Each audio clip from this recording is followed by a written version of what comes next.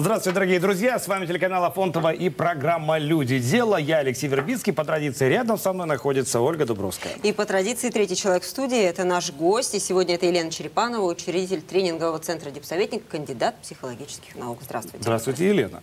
И э, сегодня у нас э, такая немножко неформатная история с точки зрения того, что обычно в программе «Люди. Дело» мы говорим с бизнесом, а сегодня у нас есть уникальная возможность поговорить про бизнес э, с точки зрения э, психологии. Наконец-то разобраться вот с этим пресловутым термином э, «бизнес по-русски» или что такое русский бизнес. Но я бы хотел начать с другого. В принципе, разобраться с точки зрения психологии, почему Одни люди становятся удачными бизнесменами, другие в принципе об этом не помышляют, говоря самому себе, да зачем, да это не мое, да мне лучше вот так. А, начнем с того, что есть такое устойчивое понимание, что бизнесменами не становятся, а рождаются.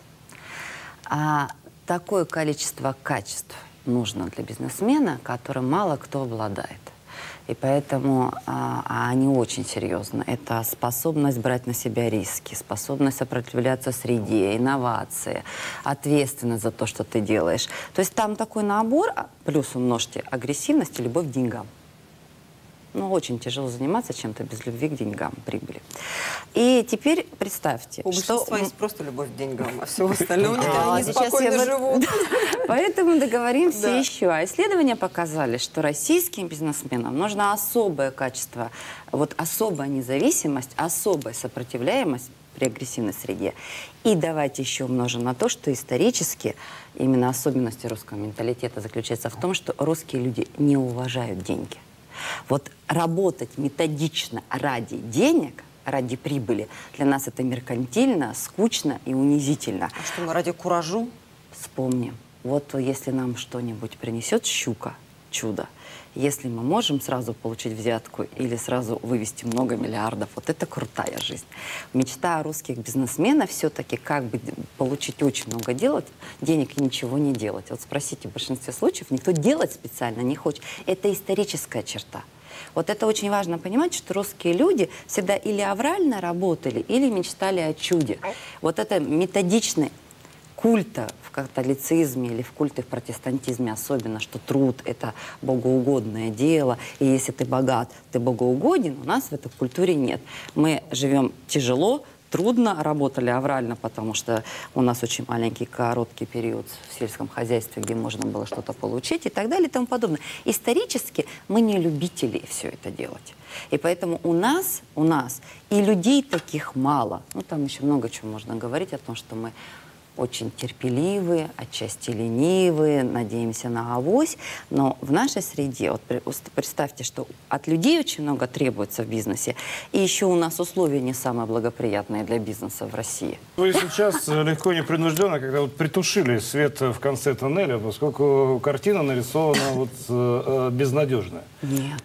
Выход есть. Я хочу сказать, что мы же говорим, что есть особенности бизнеса по-русски. И мне все жалко, почему не создали фильм. Мне кажется, это был бы самый убойный Ну, рейтинговый... есть все вот эти особенности национальные. Ну вот бизнес бы их... э, Особенности национального так. бизнеса не хватает А, не да, может? хватает. Я хочу сказать ничего подобного. А, Мне кажется, что наоборот нужно осознавать наш э, русский менталитет, нашу картину мира, и наоборот э, бизнесменам ну, как бы внутри себя помочь, потому что вот русские люди, чем мы отличаемся от других стран, и чем, чем мы гордимся? Мы гордимся своей душевностью своей эмоциональностью, о том, что мы, а, вот не по-русски, да, вот брачные контракты, да, мы, мы умеем дружить, у нас очень важны личные отношения. И вот, например, русский бизнес имеет такую особенность, это не в качестве критики, это просто отражение нашего зеркала. А, русские бизнесмены очень много делают бизнеса или с друзьями, или с родственниками. А как с друзьями с родственниками подписывать бумаги? Масса вещей на словах, масса вещей на понимание, масса предположений. Не, неудобно же, как мы будем процент это изначально делить. Вот начинаем бизнес, подружка, которая 20 лет знает, как я буду с ней, да? Это все По-братски, неудобно. по-братски. По-братски. Да. И, вот, и У как каждого свое представление, как это по-братски. А, и вот огромное количество, это бомба замедленного действия, да, когда нет бумаг, когда есть доверие, когда есть куча недоговоренностей, а потом кто-то начинает одно хотеть, другой другое, и там считается, это монография исследования, что у нас половина бизнесов разрушается именно из этой склонности иметь бизнес с друзьями и с родственниками. То есть не жесткие там разного рода налоговые условия, не, жесткие экономи... не жесткая экономическая ситуация в России все-таки, а половина бизнесов у нас умирает из-за неправильной изначальной организации бизнеса. Да. Помимо сложностей, вот у нас есть они объективные, несомненно. Но вы сейчас, как я же как психолог сейчас рассуждаю, я знаю то, что происходит а, в реальности между партнерами и сколько проблем а, именно о недоговоренности с родственниками. Мы же все близкие люди. И, И там что вот так вам ну, а так потом вот- кто-то начинает с кем делиться, и начинается серьезная А они вот к вам так вот приходят, вот такие сидят, два партнера, значит, с животом, лысиной, каждый в галстуке. Вот они пришли к вам, Мне они... бы брата кинуть. С, э, с детского сада вот они вместе, потом они учились вместе, потом они открыли бизнес, и вот они прям к вам приходят. И Они вдвоем не приходят. А, каждый по отдельности. Это раз. А во-вторых, а, приходят уже, когда очень поздно, когда уже трагедия, когда уже начинаются суды, когда уже начинаются очень серьезные проблемы во взаимоотношениях между партнерами или а, партнерами как Уже необратимые процессы. А, Тогда ну, там уже понятно, что ну, у нас, обратите внимание, у нас же еще есть сторона вторая вопроса. У нас вообще все русские люди, еще раз повторяю, что сейчас не идет речь только о бизнесменах и там бизнес по-русски. Все русские люди а, достаточно плохо, во-первых, относятся к, а, к психологии, как, как, как науке. У нас, для нас это до сих пор... Настороженно, так скажем. Стыдно. Нет, у нас это до сих пор с психиатрией даже путают. У нас вот низкий очень уровень культуры.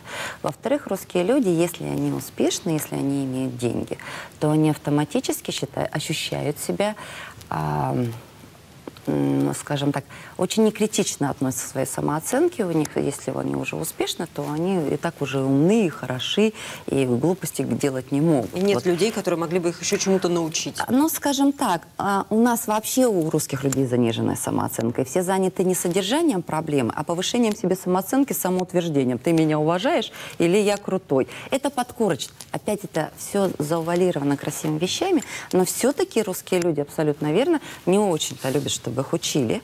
И приходят, к сожалению, в ситуации, когда уже ситуация пату. Чаще всего, как в скорую помощь. И чаще всего это все очень скрыто. А большинство успешных людей консультируются и а потом не то, что делают, они делают, и что тебя знают, там, я не могу сказать, но максимально этот факт скрывается. Знаете, совершенно недавно э, записывали интервью с Игорем Маном. Ман Иванов Фербера, вот это вот издательство, которое бизнес-литературу. Сейчас очень много литературы, и они на ней специализируются. Да, в общем, мы все поняли, что это такая волна. Очень много литературы. Как в себе хорошие привычки, как сделать из себя предпринимателя. И вот, э, кроме того, что эта литература издается, э, вот Ман, тот же, он ездит э, с тренингами. И я, э, разговаривая с ним, спрашиваю об эффективности, и он говорит, ну если один из этого зала всего что-то сделает, поменяет, это уже хорошо. Все читают, все покупают, все ходят на тренинги, никто ничего не делает. Вот почему так. Две поверхностных причины, которые вот сейчас мне, а, я могу назвать. Повтор- Первое. Если бы люди могли обучаться по лекциям и по книгам, а, это было бы чудесно. А игры разума заключается в том, что ты даже эту идею знаешь или ее прочитал, удержать ее и применить это две большие разницы. Вот попробуй это сделать сам, и это уже бездна между тем, что ты а, прослушал и то, что ты применил. А большинство сейчас или читает, или сидит в тренинге а-ля лекции. Вот они называются тренинг, но по сути они выслушивают умных людей. Вот разница между а, лекционной формой работы и настоящим тренингом, это тем, что человек сел и сидит здесь сейчас, это пробует. Пробует раз, пробует два, получает обратную связь, что не получается, делает домашние задания. Вот когда он начинает применять. Потому что так мысль пришла тебе в голову, да, и убежала. И вот уже а, и невозможность применить, и незнание, где применить, да, и без... Вот, в чем и разница нормального обучения, глубокого, да, нормального проживания чего-то, и побежали, послушали лекцию. Вот поэтому это просто технически невозможно. А, именно невозможно. Вот э, книжки никого не спасали, к сожалению, самые лучшие книги. Вот они, наверное, спасают а, или тех людей, которые уже это знают и умеют, это подтверждает их в том, что я молодец, да, или тех, кто потом, взяв эти идеи, замечательно идет и учит людей благодаря этим идеям, как это делать. Наверное, это помогает именно этим специалистам. Это первый пункт. А второй пункт, мне кажется, тоже упирается в русский менталитет. Вот это тоже очень важно. Я все-таки пытаюсь оправдать всю, всю дорогу а, наших русских людей по одной простой причине. А, у нас нет внутри идеи, а, социального дарвинизма. То, что есть во многих странах, очень простая вещь. Выживает сильнейший, выживает лучший. А если перефразировать это красиво, ну, мало то, что мы жили в Советском Союзе, где каждый уважаемый, и профессия каждого уважаемая, и все равны, и рабочий даже равнее и круче, чем И интеллигент. кухарка может руководить государством. Конечно. Вот. И поэтому мы выросли в ситуации, да, что мы все равны. И нам достаточно болезненно, почему такая зависть к успешным людям есть, подкорочная. А Вот. А Она даже, может быть, неосознаваемая, но она есть. А, а вторая вещь, ну, то есть вот не равны. Мы не осознаем, что мы живем в ситуации, что лучшие будут выигрывать. Мы все равно думаем, или наши знакомые нас продвинут, да, или вот у нас все равно есть ощущение, что можно пристроиться и решить вопрос другим способом, борзыми щенками, да. У нас все время есть блат. Но у нас, Вот. надо сказать, есть очень яркие примеры того, как это работает, поэтому, видимо, И это работает, несомненно. Блат, связи, пиар, все это работает. Но все-таки вот мы катимся туда, куда катимся. Мы катимся к миру, где выживает лучший и сильнейший, кто в себя вложил, профессионал. Потому что есть простая мысль. Качество жизни зависит от того, насколько ты профессионально и личностно нужен другим людям. Вот если за тобой, как за профессионалом, стоит очередь, да? Если ты как человек интересен другим людям, да, и с тобой хотят разговаривать, хотят встречаться, тогда там и там ты будешь запрошен. И твое качество жизни сильно зависит. Поэтому логика очень простая. Копите себя, вкладывайте в себя, да, становитесь лучше и, и, и, станете важнее. Даже вот сейчас в любви, простите меня, сейчас нет нужды, сейчас уходит эра, когда семья строилась на экономических основаниях. Сейчас уже а, просто так и ребенку, ну и прожить одному можно, да, и ребенку можно воспитать там, находясь в расстоянии, да, с друг с дружком деньги давай называется. Вот. И сейчас основания по большому счету вернулись самые романтические. Если тебе человек не, то есть тебе должен человек быть любимый и интересен да, то есть заслужить друг друга. И опять мы упираемся в социальный дарвинизм. Насколько ты интересен, и насколько захотят через 10 лет без других оснований к тебе домой возвращаться, тебя видеть. И вот получается, что наоборот, да, вот если бы у нас, а у нас это в культуре нет, что вот если ты копишь себя, вкладываешь не в Мерседес, а в себя, в свое знание английского языка, в свое умение танцевать танго, в свое умение профессионально, да, ты действительно всегда на высоте, и ты будешь иметь это качество жизни. Вот эта вот идея, к сожалению, пока очень с трудом приживается по очень простой причине, опять же, русской ментальности. Мы очень-очень терпеливый народ, и мы очень работаем бросками только когда большие смыслы. А вот средняя бытовая культура, где надо отчаянно долго трудиться, чтобы улучшить свою культурную жизнь, гражданское сознание, все это строить у нас очень с трудом приживается.